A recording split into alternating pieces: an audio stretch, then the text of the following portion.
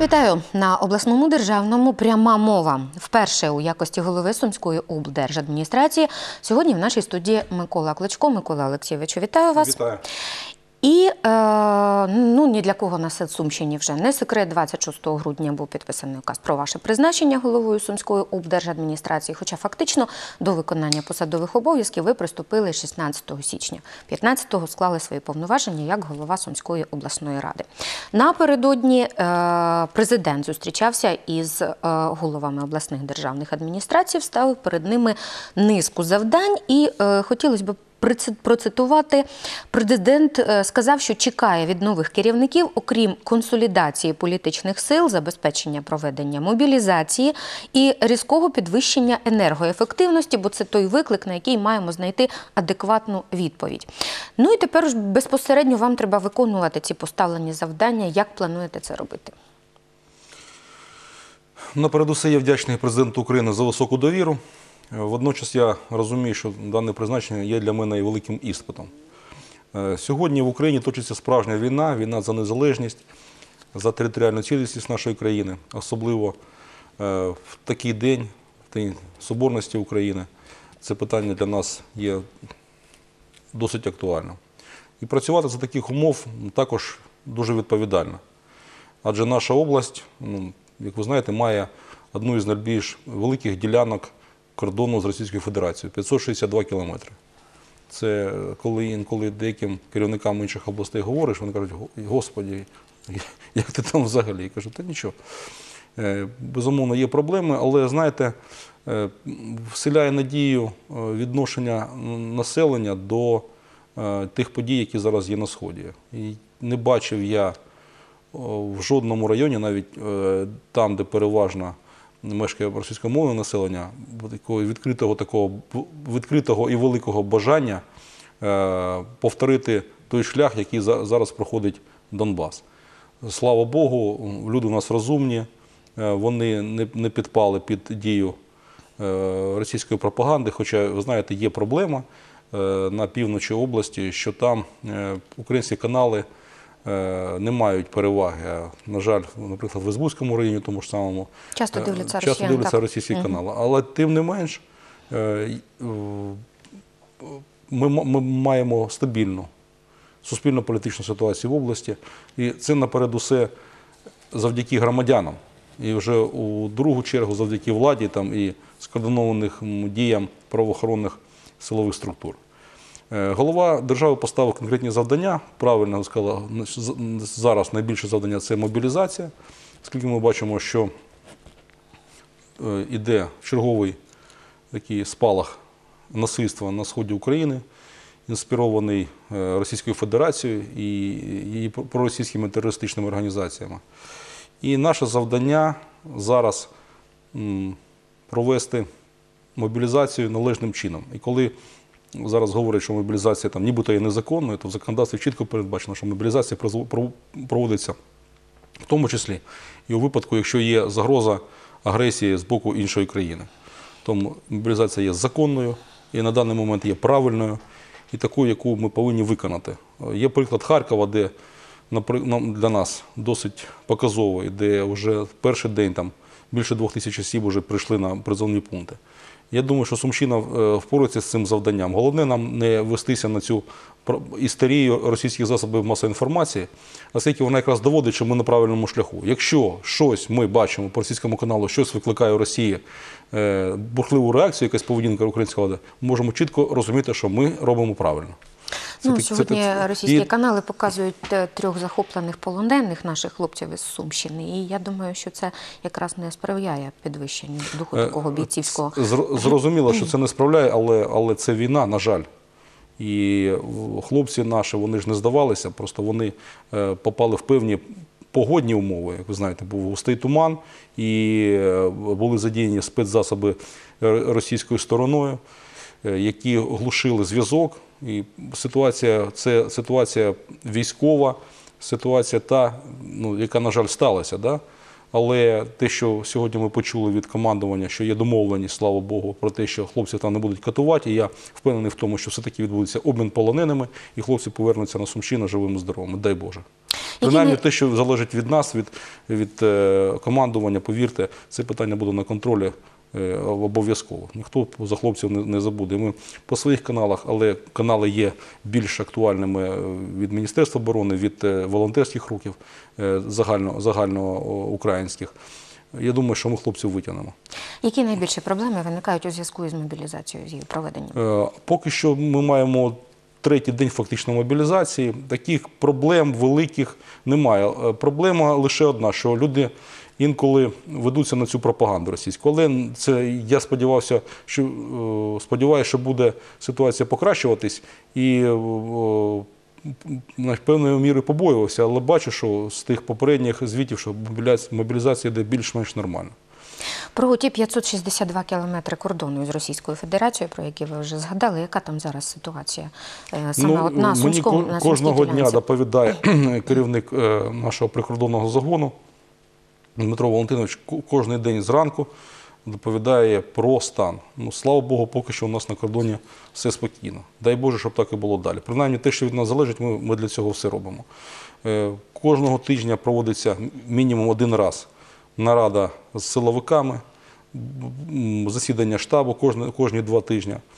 Е, Завтра буде в мене нарада, в понеділок буде нарада з силовиками вже в рамках штабу. Сьогодні, до речі, відбулася така, ну, я думаю, нормальна подія, коли ми збирали силовиків і, керівників ОМВС, е, наших військових, волонтерські рухи, і е, намагалися скоординувати їх, діяльність і виробили ну, певний шлях, да, що ми створимо ну, певний невеличкий, е, скажімо так, орган е, в обласній адміністрації, який буде допомагати е, в роботі волонтерських рухів, зв'язувати підприємців, які хочуть допомагати з волонтерами, волонтери, щоб обмінювалися інформацією, щоб не було ситуації, коли Тобто функції координації буде виконувати. Функції координації, але не нав'язливої координації. Це не буде якась там е, нова посада. Це просто буде один із, е, скажімо, моїх помічників або радників координувати цю діяльність, які е,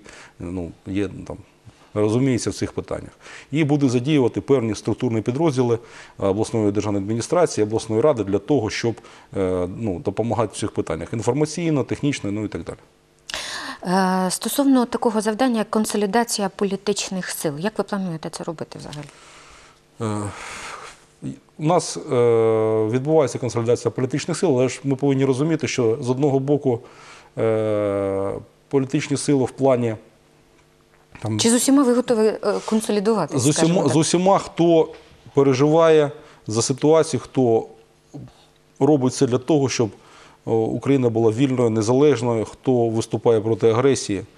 Е, Ви знаєте, для мене було показовим, коли е, завдяки голосам, це Сумській області, мабуть, така унікальна ситуація, коли ми, якщо не помиляюсь, 1 березня або 2 збиралися е, в обласній раді, і майже не було кворуму.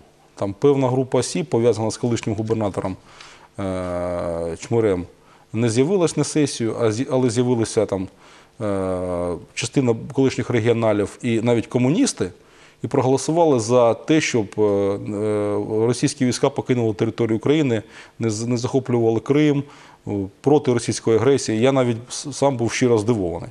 Е, Хоча ідеологічно з ними там, скажімо так, є великі розбіжності.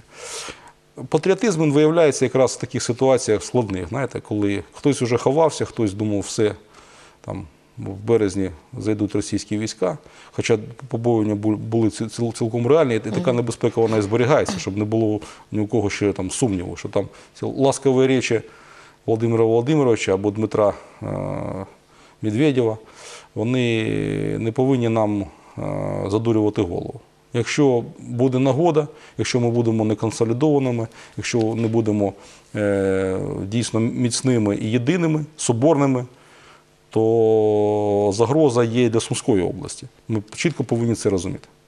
Багато чого залежить від того, наскільки консолідованими будуть зусилля між головою обласної ради, головою обласної державної адміністрації. Якраз кандидатура голови обласної ради е, майбутнього мається на увазі зараз. Дуже широко обговорюється. Називається три кандидатури: Борш, Штукар і е, Бояринцев. І е, з ким ви готові консолідуватись і нормально разом співпрацювати? З, з будь-якої цієї кандидатури я готовий, маю нормальні робочі відносини і готовий працювати. Справа ж не в тому. Справа в тому, що ну, для, для мене було, знаєте, неприємно, коли е, колишні мої там, політичні партнери намагалися зірвати взагалі сесію і зробити так, щоб е, я, як голова обласної ради, е, виглядав, е, як- голова, майбутній голова адміністрації, на той час ще голова обласної ради, виглядав е, в непривабливому стані, що там кинув обласну раду, що обласна рада залишилась без керівництва.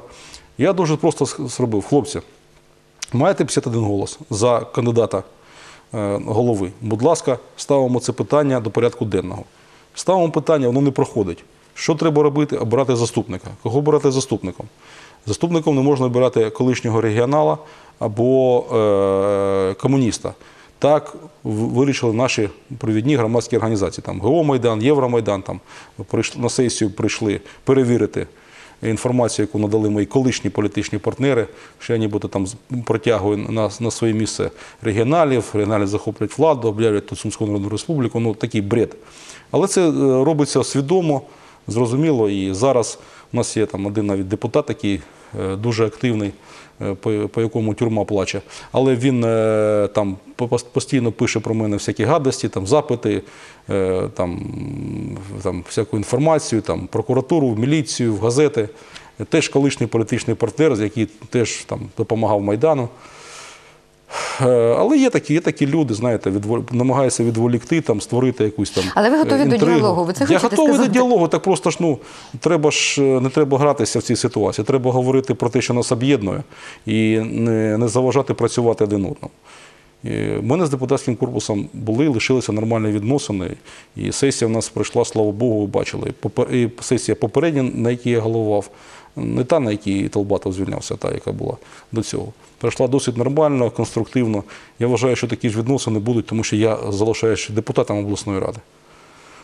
Е, Микола Олексійович, ну і все ж ніхто не відміняв твердження, кадри вирішують все. Як правило, приходить новий губернатор, призначає нових заступників, змінюються начальники управлінь, голови райдержадміністрації і е, так далі. Ваші які будуть кроки? Пе- е, Дивіться, є певна оцінка діяльності, є завдання, які ставились, які виконані чи не виконані. Ну, Наприклад, ставились завдання там, е, там, з питань екології ну, ще попереднім головою обласної адміністрації. Вони там рядом керівників районів не виконані і керівниками управлінь. Ставились питання щодо, наприклад, допомоги е, в Луганській області по будівництву. Сталося там, наприклад, перед управлінням капітального будівництва. Воно провалено. Звісно, що треба робити кадрові висновки. Вони будуть Тобто зроблені. ви зараз аналіз проводите? Безумовно. Та я аналіз зробив е, в цей час, бо я ж не, не, не з облака впав, і, е, не з вулиці прийшов, а працював на тому ж поверсі, скажімо так, да, в сусідньому, можна сказати, кабінеті. Тому для мене нічого тут ново- нового, ну, такого кардинального нового нема. Е, Оцінку зробимо. Є пропозиції від народних депутатів, від громадськості по керівникам, але працювати мені як голові з ними, не не народним депутатам при всій повазі. І громадським організаціям. Тому що знаєте, як у нас буває, приходять там такі сердобольні, хоч до рани прикладай. Хороші люди, нас ображають, оце Микола Клочко хоче нас прибрати, а потім е, звертається до правоохоронних органів, а вони дають довідочку, що там ну, в'язниця плаче за людиною. Знаєте, так по, по, якщо по, по Ну давайте вже тепер конкретно по персоналіям. Якщо в'язниця плаче за людиною, то конкретно називаємо прізвище, з якими що, які Е, я кадрові ж- зміни відбудуться кадри- незабаром. Ні, я кажу, що будуть змінена е, низка, низка керівників е, структурних підрозділів обласної адміністрації, територіальних упра... Заступники управлінь. нові з'являться? Безумовно. Е, Ви з- вже знаєте, хто це буде чи ні? Е, Про я знаю, які пропонуються. Вони повинні ще пройти співбесіду в адміністрації президента. Там є пропозиції Народного фронту, є е, про- пропозиції від е, блоку Порошенка, є пропозиції від інших політичних сил. Є там моє якесь бачення. Я думаю, що протягом двох тижнів це питання взагалі буде закрито. Тобто, поки що прізвище ви не озвучуєте.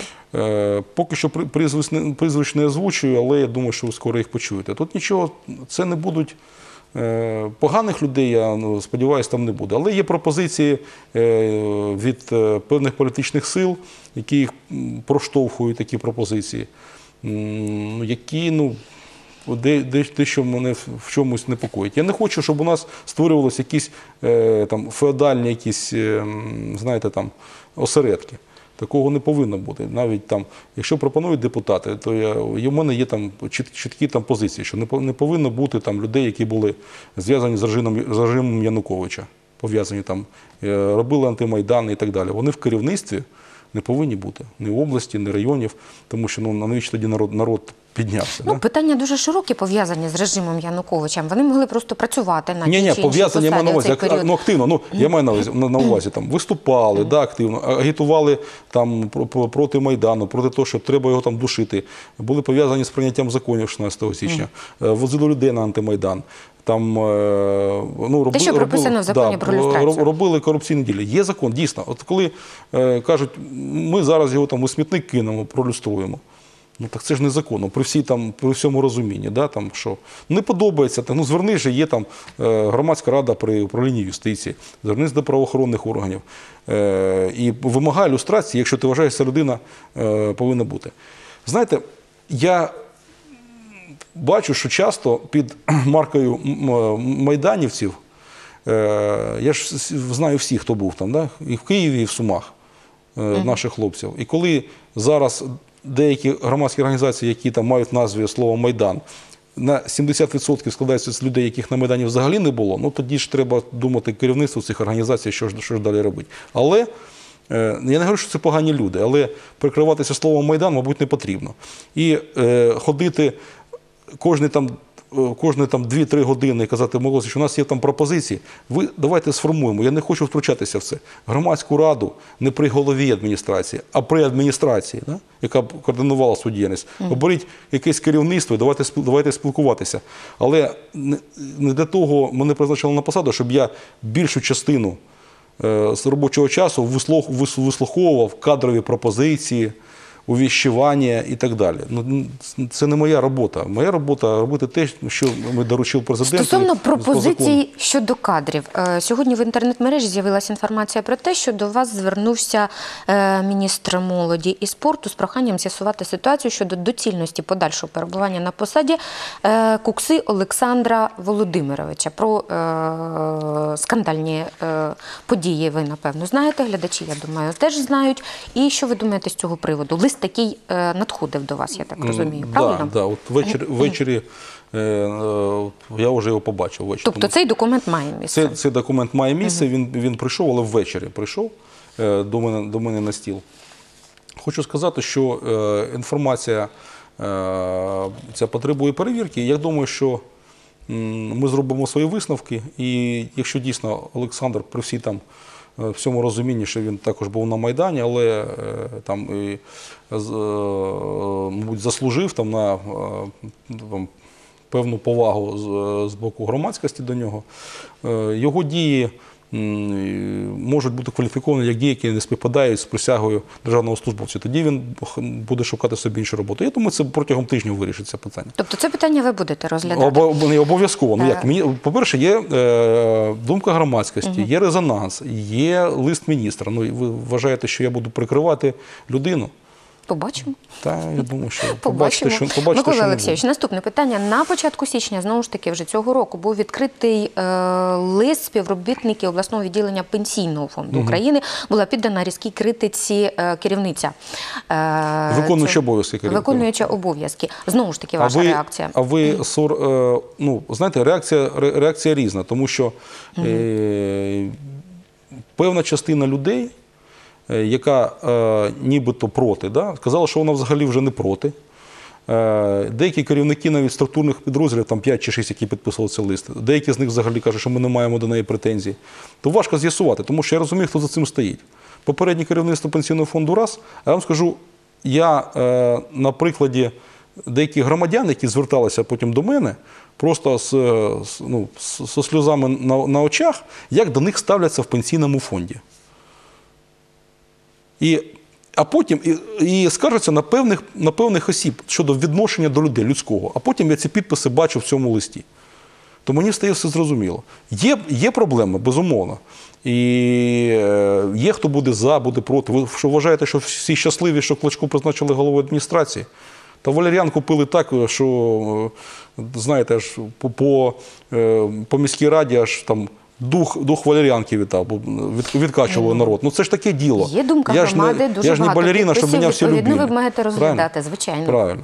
Але думка громади є, я розглядаю, і це питання е, розглядається міністром, головою пенсійного фонду. Хай вирішують. Я сприйму, е, але повинна бути, знаєте, як би там не хотілося, думка більшості. Е, Повинна все-таки, ну, так, так побудована демократія все-таки. Більшість формує владу, да? І якщо більшість людей буде підтримувати цього керівника, ну, а меншість буде проти, ну, ну не можна йти за. Хоча інколи меншість права, я розумію.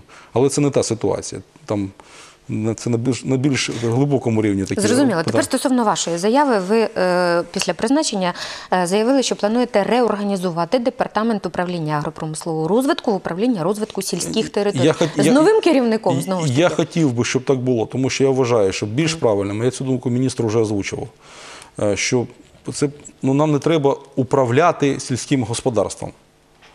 Е, Тому що у нас державний сектор в сільському господарстві, він ну, взагалі мізерний. В основному це приватні, великі або дрібні господарства, але приватні. Е, Певне регулювання слід робити, зрозуміло. Але управляти, ну як слово саме управління, це пахне совком. А от департамент з розвитку сільських територій, щоб слідкувати, яким чином виконуються соціально- соціально-економічні угоди, е, які треба е, здійснити заходи для того, щоб на селі була робота. Якісь пропозиції. Так я бачу роботу. У мене ще не було співбесіди з керівником, хоча я його знаю. Не все мене в його роботі влаштовує. Будемо, буду, приймати, буду приймати рішення. Ви все побачите. І стосовно планів, ви казали, що будете зустрічатися із нардепами від Сумщини, Вже планувати вже- вже подальшу зустріч- роботу. вже Що вирішили, які перші кроки, які перспективи? Вже, вже зустрічався, і основні питання були у нас взаємодії. Як будемо взаємодіяти, і е, слухав від них кадрові пропозиції. Причому кадрові пропозиції у нас депутати деякі ну, дають пропозиції взагалі по всіх, по всіх, по всіх, по всіх районах.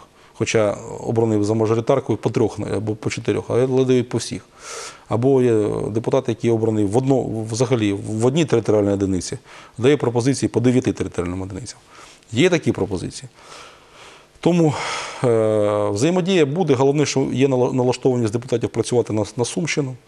Це дуже добре. І, і працювати, допомагати мені в цьому питанні. Лобіювати ходи, е, наші, наші питання, ходити, переконувати, е, слухати людей там, в плані зміни законодавства, в плані там, е, бюджетної якоїсь допомоги. Тому що ну, є ще по бюджету питання, давайте відверто скажемо. Особливо зараз. Ваші коли- перші коли- кроки відповідно до бюджету 2015 року. Є, є дуже велика, ну як в смислі, наші перші кроки. Що ви маєте на увазі? Я маю на увазі, зараз ви збираєте інформацію, аналізуєте її. Маємо бюджет 2015 Да, року, яким вважається асоціальним. Є певні е, проблеми і з пільгами, з виплатами соціальними там і е, так далі. Тобто, ваше бачення, як далі житиме область, ну принаймні у перші три місяці. Е, Коли країна знаходиться у військовому, фактично військовому стані, хоча і не об'явленому, ми розуміємо, що ті гроші, а ви знаєте, від 80 до 100 мільйонів гривень в день іде на е, Вартує війна, да, скажімо вартує війна. Це не говорячи про безцінні людські життя і загублені долі. Ми розуміємо, що таке 100 мільйонів. Та нам би на Сумську область дали б, е, скажімо, 7 днів би не воювати, да, там, там, або там, 10 днів, вже мільярд, щоб ми могли зробити.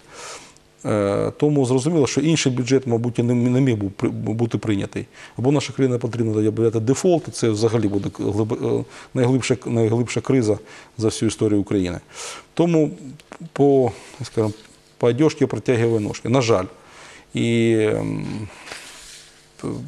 мені цей бюджет не, не подобається, але це бюджет це є закон, його треба виконувати, будемо виконувати. Я впевнений в тому, що нам треба, е, як кажуть, як, казав Молчиш Євричич, ніч просто я день, день продержатися.